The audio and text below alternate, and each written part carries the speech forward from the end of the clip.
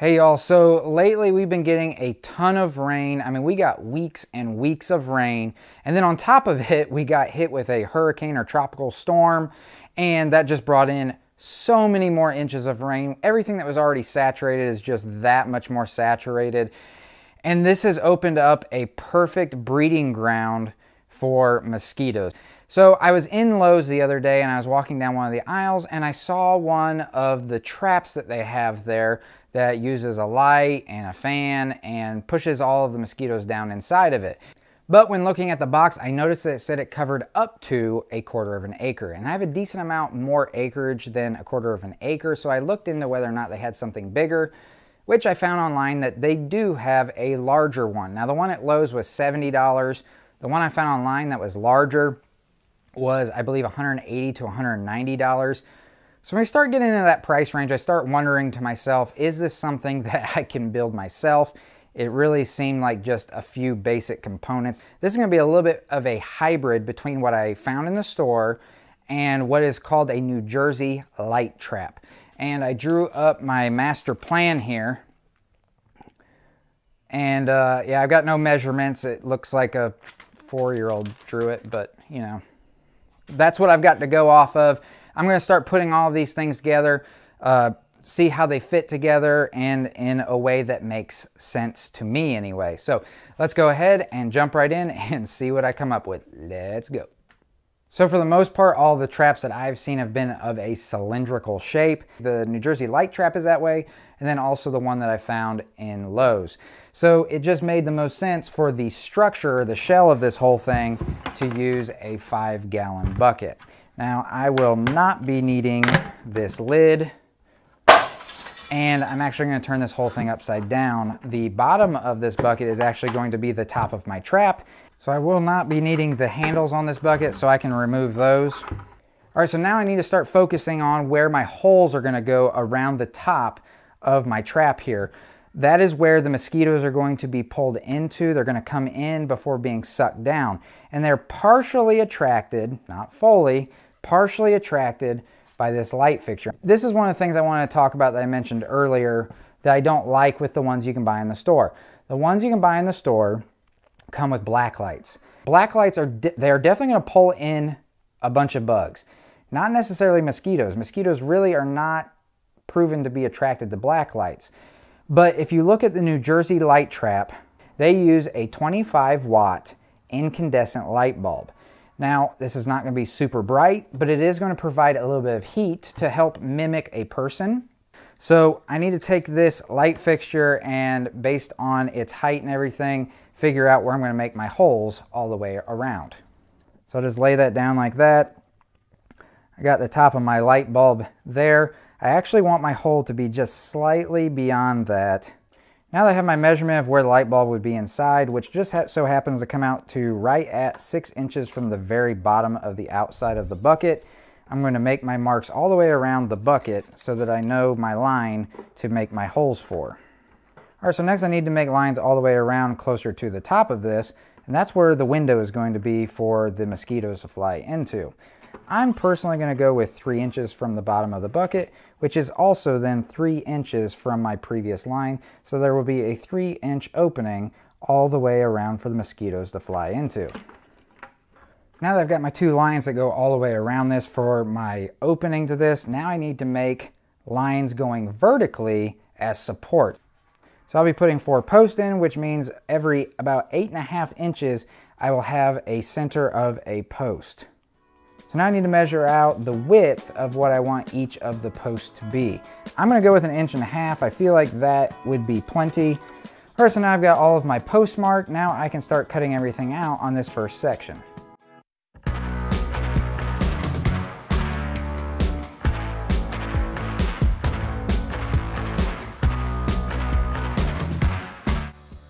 All right, so now that I've got those windows cut out, now I can actually start wiring up my light fixture. And again, this is just a standard lamp fixture, but this one does have a plug-in on it. And the reason I went with this one is just because when I mount my fan inside, now I can just plug it into this, whereas I was gonna have to lop off the plug and wire it into these terminals here. It's just gonna make it a whole lot easier. The other reason I went with this one is because it since it has that plug, it has a ground screw in it. And the wiring I bought, which is for appliances, if you can see here on the wiring, you'll see there's a green wire for ground, black for hot, and white for neutral. And that's just going to make this all grounded, which anytime you can do that, that's the best way to do it. The whole thing is plastic, so I don't know how necessary that would be, but again, it's always better to put in better things. Okay, so the first thing I need to do in order to start wiring all this up is I need to run my cord through the bucket here. So I'm just gonna put a hole here in the top of the bucket where I can run my wiring through into the fixture. All right, so now I've got my hole cut for the wiring, I can now feed my wiring into the bucket. Once I've got enough wiring in there for the light fixture, then I'm going to take my fingers and grab right here at the edge of the bucket and then feed it the rest of the way through. Where my fingers are is marking the amount of wire that I need in the bucket. So from here to here for the fixture. So here, I want to put a knot in this wiring so that if anybody comes along and yanks on the wire, it doesn't pull it out of the light fixture. Because if it pulls it out of the light fixture and they yank on it, then as long as it's plugged in, you have a live wire. So now, with this knot being in place, it can't be pulled out of the bucket. All right, so I'm gonna take this fixture and I actually ended up notching out a little area here so that my cord would go through easily and sit flush. And now I can start wrapping them around each of the screws. So I'm going to start with the green ground wire. I'm going to connect it to this green ground screw on the fixture. I'm going to wrap it around there in a clockwise direction. The idea is going around in a clockwise direction. As I tighten down this terminal screw on top of it, it's going to help pull that wire in close to the center of that screw, which is just going to provide a better connection. All right, so now I'm going to attach the white neutral wire to this silver screw. Silver is going to be for your white neutral. So again, same thing, going to wrap around it in a clockwise direction and then just tighten it down nice and firm. I'm going to take this black line wire and put it on this brass colored screw. So now I need to center my fixture and once I've got it centered, then I need to mark where I want to drill my holes for the bolts that are going to hold this in place. Now that I've got my marks made, I can make my holes. Now typically when you install a light fixture like this, the bolts run up through the light fixture and into a junction box. I elected to run them down through the bucket and then through the holes in the light fixture and use nuts to then tighten down the nuts onto the light fixture to pull it up to the top of the trap. It's just going to make for also a cleaner look on top and also just makes it really easy to seal in with some caulk. All right, so now I've got that light fixture mounted up in the trap. Now it's time for the fan. Don't need this stand. Uh, we're not gonna need the front grill, so I'm gonna disassemble some of this and then mount it into the trap. I'm gonna make sure that I hold on to the bolts that I pull out though, because I will probably need them a little bit later to mount them into the trap. So now I've got screws going all the way around this fan and I really don't need this front grill. In fact, it's taking up a little bit of extra space and it just doesn't need to be there. So I'm just gonna pull all these screws out and remove the front grill.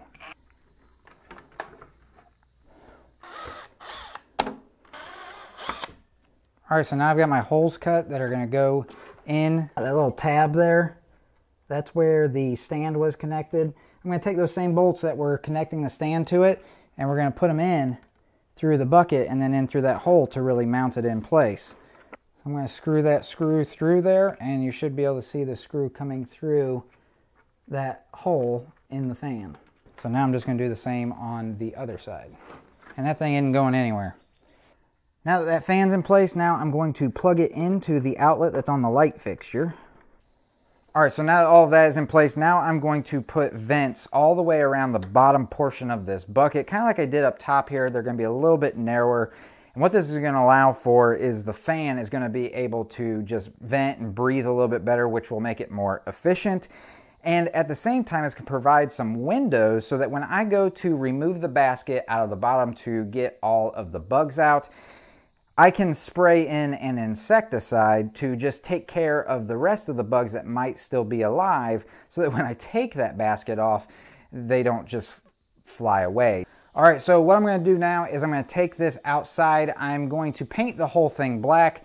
And the reason I'm gonna do that is because mosquitoes are more attracted to darker colors than they are lighter colors. And while this is a navy or royal blue, and it's kind of dark. I just really want the whole thing to be uniform and it's gonna, golly, it's gonna allow for this bucket to stay warm during the day, drawing in that heat. So in the evening time, it may remain a little bit warm, kind of mimicking a body. And on top of that, what it's going to do is it's going to help to protect this bucket from the sun's rays. I'm also going to be painting this lid and I'll show you a little bit later what I'm going to do with that. All right, so now that my paint is all dry, now what I'm gonna do is I'm gonna put screening all the way around the bottom of this bucket where all these little windows are. So that way, all the bugs that get trapped, they can't get out. And I'm gonna do that by using just this standard patio screen that can be picked up pretty much anywhere. And I'll just cut one fairly big piece that goes all the way around the inside of the bottom of the bucket, covering up all those windows, and I will adhere it to the walls of the bucket using some caulk. Now I can already sense some comments that might be coming and they'll probably look something like this. That caulking or that screen doesn't look good. And no, it doesn't. I would not want that in my living room at all. Once I started putting that screen around, it was just smashing that caulk all over the place and it's just not a clean look. But from the outside, I'm really not gonna be able to tell. And more importantly, it's functional and holding that screen in place, which is really all that I care about. But don't worry, I did do my due diligence and I surveyed some of the future residents of this trap and 150 out of 10 mosquitoes all said the same thing and that's that they really didn't care which i found to be very encouraging and i just want to make sure that they're having a good time and relaxing and most importantly sleeping well in their final home this particular lid has the middle that spins out, and this is going to be important for the way that I'm going to be installing the bottom portion of my trap. So I'm going to be mostly focused on the middle portion of the part of this lid that actually spins out. I'm actually going to be making a hole or a cut along this little ridge here before it dives down all the way around so that I have a hole right in the middle and it just leaves me with the outer part of that ring that spins out of the bigger ring. Well, I was doing some testing with the fan with just the vents around the bottom portion and it was really bogging down the fan. There was not enough airflow. So I need some airflow in the very bottom. And so what I'm gonna do now is I'm going to put some screening all along the inside of this so that the bugs can't fly out once they've been blown down inside. And it's also gonna create kind of a bowl for them to get blown down into. All right, so now I've got my bucket lid back now, and now I'm gonna run a bead of caulk all the way around this little ring right here. All right, so now I'm going to take the front grill and I'm just going to set it down into that caulk. Now what I'm gonna do is I'm gonna take some little screws and I'm gonna put them down through each of the holes that originally was holding this grill onto the fan. And so when this is attached to the bottom of the trap, all I have to do in order to take this basket off is just spin this off. And obviously gravity will help keep the bugs in the bottom. This is upside down and it'll just pull off like this. This will remain on the trap. All right, so now all that's really left as far as building this is figuring out how to hang it. Now I could just take the handles that I took off and bend the hooks in to where it just hangs underneath of here. But I bought some of these eye bolts and I'm gonna use some light duty chain and some little hooks just so I can quickly disconnect it from whatever it is I have hanging it from. So I'll just quickly install that now. All right, so now the trap is pretty much completely built. So now I'm going to reinsert the 25 watt incandescent bulb and test it out. All right, so the light is working and now let's turn on the fan. And the fan is spinning. All right, so now that I know all of my components are working, now it's all about getting the mosquitoes to it. But what's most important is some form of bait or attractant. And a lot of the traps that are out there just don't offer this, but it's probably like the key ingredient in order to having a successful trap. A lot of people know that when you exhale, you give off carbon dioxide, and that's what a lot of mosquitoes are attracted to. This product is called Octenol, and that is what it is mimicking.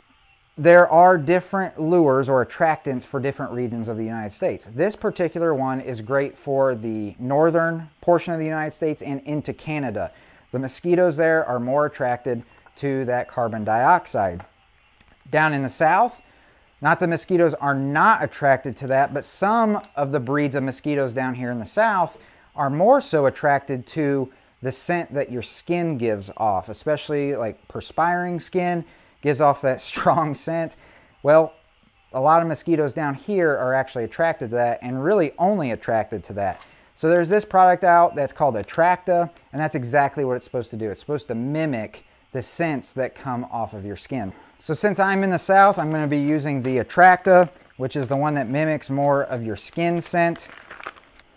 I'm just gonna take that little bag and I'm gonna lay it down here in the basket, and that fan's gonna help to blow that smell right out the bottom.